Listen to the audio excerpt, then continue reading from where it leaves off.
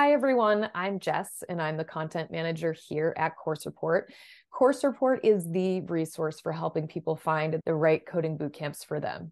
If you haven't used Course Report yet, check it out. Um, you can research the best online and in person coding bootcamps all over the world, find out which coding languages to learn, where to apply, and how to fund your very own coding bootcamp experience. Today, I am so happy to have Zachary Lynch, a boot camp instructor from Sabio, joining us to talk about how long it actually takes to learn JavaScript.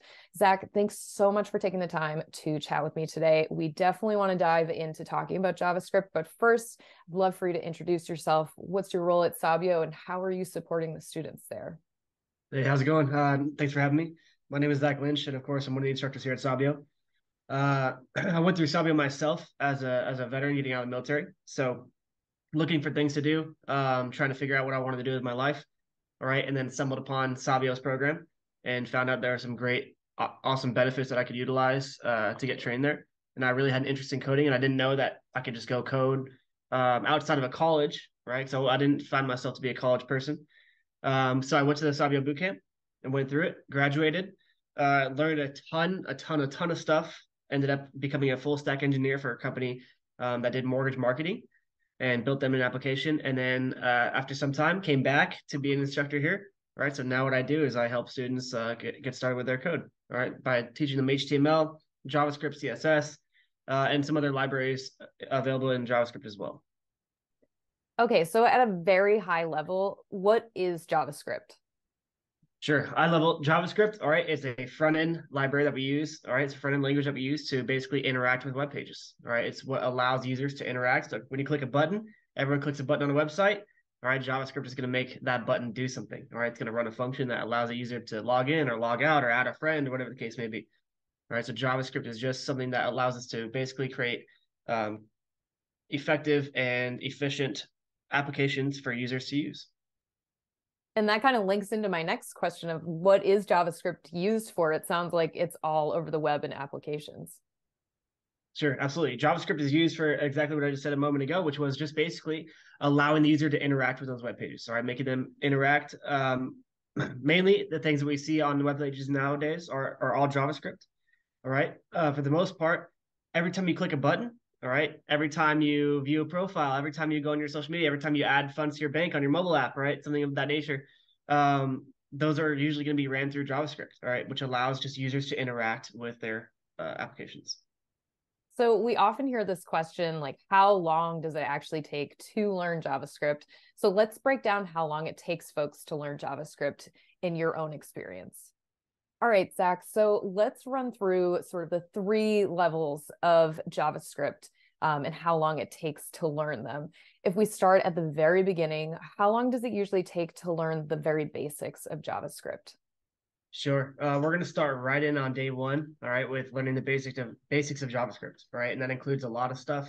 Uh, defining variables would be the main thing. Right, defining variables. How to define variables? Variables are what allow us to basically store data inside of one item all right, which can be an object or an array, um, or some simple string content, text content, numbers, etc. All right, that we then put all over the web page, all right, to then access and render that data to the user. All right, so defining variables would be day one.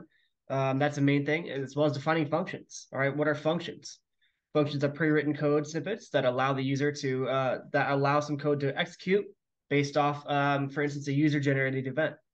Right, so defining functions is a very very important thing we don't want anything to happen for the user until the user makes that choice, right? So we don't want to log in the user or log out the user until the user clicks that login or log out button, right? When they click that login or log out button, that's when a function will run, all right, which will then take care of that process.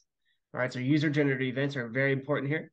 Um, objects and arrays, right? Objects and arrays are how we send and receive data from our database to our server to our front end right? So objects allow us to store a bunch of information inside of what's called properties inside of this object, right? So for instance, what we might have as an object is a car, right? That car has properties, you know, car paint, car color, uh, amount of seats, amount of wheels, etc. Right. So those kind of uh, that kind of data is stored inside of these objects, which allow us to basically send and receive this data, right, at a more efficient um, manner. Okay, and then arrays are miscellaneous items. They're actually JavaScript objects as well But what they allow us to do is store a bunch of data, all right, inside of these arrays by their array name. And what happens is that when I store that data inside this array, it's given an index position, right? Then I use that index position to look up um, the piece of data stored by that number. All right. So this is all a lot happens on day one. All right. But I'm here to walk you through it, and the instructors are here to walk you through it very slowly, make sure that you understand completely. Um, but there is going to be a ton of stuff that we learn in day one. All right. But the great thing is, is that day one, it feels like a lot, but come week three, all right, you're like, okay, I totally understand that now. All right, it's making a lot more sense to me. I know how to implement this. I know how to use this. I know how to define this and create this. Uh, so we make sure that we we take it through very slowly. And when we're talking about these amazing um, upcoming coding workshops that Sabio is going to be offering, can someone who's like a total tech beginner, like a total coding newbie, come in and learn these things? So, um, absolutely. Okay, absolutely. So, what I would do uh, is I would join those those pro, uh, those free workshops that I have coming up. All right, and you don't need to have any coding experience whatsoever. I did not have any coding experience coming into this. Uh, I just knew it was something I was interested in, but only knew that colleges were how you learn these things. All right, until I stumbled across Sabio, and then I was like, okay, well, let me try this out. Uh, and so you do you do not need any experience whatsoever coming into coding. We're gonna make sure that you have everything you need and hit the ground running. All right, and start on our first day with lectures. All right, and our second day is gonna be lectures, and our third day is lectures, and we're gonna be making sure that we're with you the entire way. So you have an instructor with you the entire time. You have access to the instructors throughout the day um, if you have get stuck or any questions, things like that. Um, so it's very important that you do not need to have any coding experience. All right, having coding experience may help you, all right, but we're going to make sure that we get you there without it.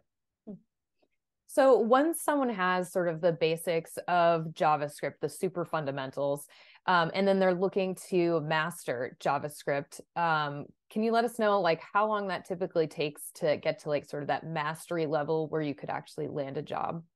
Sure. Uh, so what we do here at Sabio is we start you off on that, you know, from day one and forward by implementing a lot of libraries.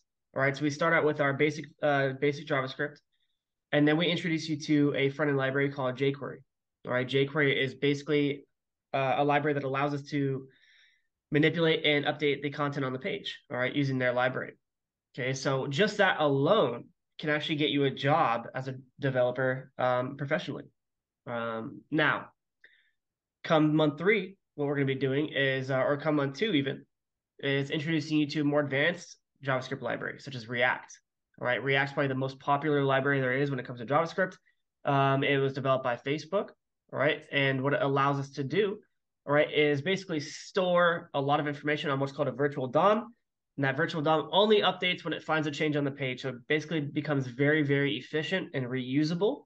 Um, and once you get your feet into React, right, it's going to be uh, probably about another month or two before you're feeling very, very comfortable with it. Right, there's a lot to learn with it. Um, but by the time you're done here at Sabio, you're going to have ton a ton of um, experience and uh, be marketable for employment. That's so cool. So basically, three months at, at a boot camp like Sabio, you can get it to a mastery level and land um, some kind of software engineer, software developer role. So then once you're, let's say, in the workplace and you're looking to become sort of that JavaScript expert, how long does that take and what does that usually require? So that might take some time as well, but usually uh, to get mastery level, all right, you're always going to be honing in your talents, always going to be refining your your code. All right, so it's going to be um, between three and six months maybe before you become at a mastery level, but you are going to be hireable, all right, before that. Because here's the thing: there's always a chance and opportunity to keep learning and and uh, re-implementing your code, all right, and redefining your skills. So what's going to happen, right, is you are hireable at month three, all right, with React, okay, and then you're going to take that forward and start implementing more JavaScript libraries. All right, you're going to learn more tools, more functions, more APIs to work with. All right, APIs are application interfaces that allow us to basically talk from one application to the other. All right, so if I wanted to drop a Google Maps uh, component in on my page, all right, well, I'm going to learn how to do these things. And at the minimum, what I'm going to have my, in my tool shed, right, is the skill to figure out how to do it, right, which is very important. Understanding how to research, how to implement that, and how to refactor your code, all right, is a main thing as well. So, Zach, will these workshops give participants an accurate idea of what it's actually like to learn at Sabio? Absolutely. All right. So the workshops that we'll be conducting um, are going to be exactly what the lectures are like uh, with me or another instructor. All right. So we're going to sit down. We're going to type code with uh, type code in front of you. All right. And highly advise you follow along and code along with me. All right. Because that muscle memory, that fingers on the keyboard, that's going to make a huge difference for you later on. So just watching the videos is going to be one thing. All right. But when you're with me and with an instructor, all right, coding along with me, answering questions when you ha- when you when you're stuck on something or you haven't written something correctly, we're going to go ahead and make sure that you have it correct before you move on. All right. So um, the intro to coding courses that we're going to be doing soon, all right, are exactly how they're going to be run for lectures when you're in the bootcamp.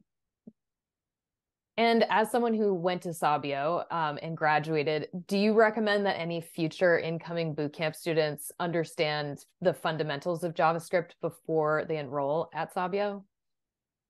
So uh, it would be a, a, good idea to start getting into JavaScript a little bit, understanding the fundamentals. But if you don't have time for it, maybe your your life doesn't allow you to to start studying before you join Sabio. That's totally okay. I'm gonna make sure, and the other instructors are gonna make sure that you understand the fundamentals, and we're gonna walk with you very slowly through the entire way. Right. So if you do, that's gonna be a positive thing. All right. And there's plenty of uh, resources available to you to do that. All right, such as the free coding courses coming up, um, or any of the free courses that Sabio offers All right. So if you have an opportunity to get those done, that's a good thing. But if you don't, we're going to make sure you get there either way. Well, I think that's an excellent place to wrap up this discussion about JavaScript. Thank you so much for sharing your expertise on this today with us, Zach. Um, and thanks so much to all of you for watching. We'll be posting a transcript of this video interview on the course report blog with contact information for Sabio, just in case you're interested in applying for either an upcoming cohort or any of their free coding workshops. And in the meantime, follow Course Report on Facebook and Twitter. And if you're a bootcamp alumni, don't forget to post a review of your coding bootcamp experience on Course Report. Your review is a huge help to anyone thinking of getting into tech today.